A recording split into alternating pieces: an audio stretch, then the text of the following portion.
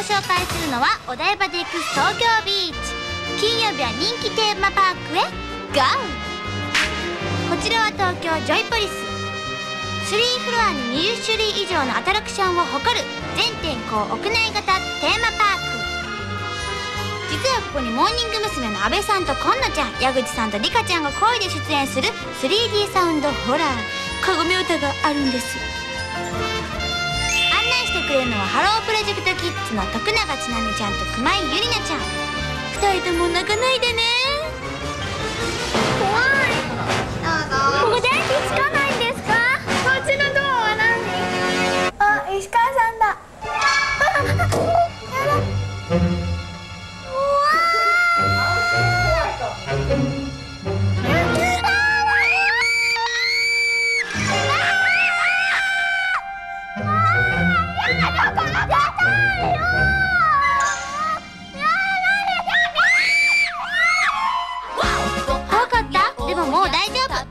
ころで東京ジョイプレスで一番多くサインを書いてくれた有名人はレオナルド・ディカプリオだよ。